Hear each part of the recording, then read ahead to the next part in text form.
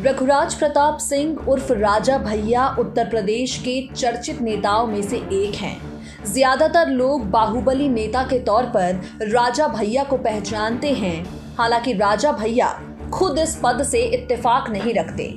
राजा भैया को लेकर कई किस्से, कई कहानियाँ हैं। जो मशहूर हैं, ऐसे ही एक कहानी हम आपको सुनाएँगे। एक बार कुंदा के मरते हुए शख्स ने अपनी आखिरी इच्छा ज़ाहिर की और ये आखिरी इच्छा राजा भैया से मिलने की थी। इस बारे में बात करते हुए राजा भैया कहते हैं, मैं लोगों को प्यार करता हूँ, इसीलिए मुझे भी लोगों का प्यार मिलता है। यही वजह है कि मैं कुंदा से कभी चुनाव नहीं हारा। एक बार भोला शर्मा नाम का एक व्यक्ति गंभीर बीमारी से पीड़ित था। उस शख्स के हालात इतने खराब थे कि उसके पास अपना इलाज करवाने तक के पैसे नहीं थे।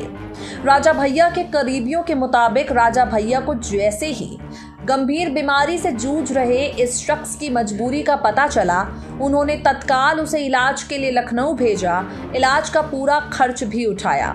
पीड़ित के परिवार वालों को राजा भैया ने अपने सरकारी आवास में रुकवाया। पीड़ित का लंबे समय तक पीजीआई में इलाज चला। इलाज के बाद भी जब भोला शर्मा के बचने की कोई उम्मीद नहीं रही, उसने परिवार के लोगों से अपनी अंतिम इच्छा ज़ाहिर करते हुए कहा कि वो राजा भैया को देखना चाहता है।